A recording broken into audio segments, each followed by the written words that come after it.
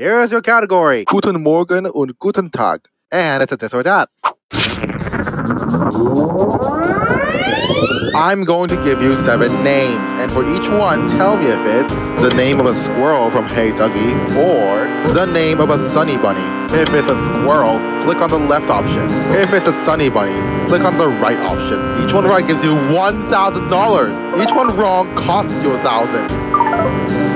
And you'll only have 60 seconds, so be fast. Are you ready for this or that? Happy, Hopper, Big Boo, Betty, Roly, Shiny, Turbo.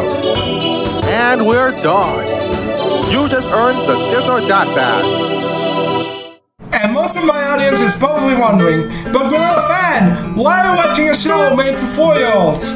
Wow, out some of the episodes because I actually liked some of them. For example, that radio episode, that was pretty good.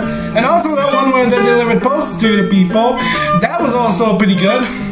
I don't want to spoil anything else about this show or the episode, so I'm just gonna end it here. Thanks for watching.